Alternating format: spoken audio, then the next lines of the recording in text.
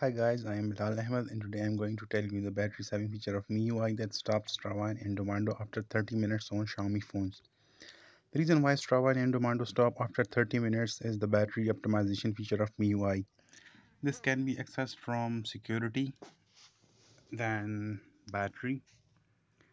Uh, note that uh, currently there are no battery issues. Then click the settings icon on top right on the second, there is clear cache when device is locked. Set it to never. Now go back. Now the battery optimization tool says that it has got one battery issue.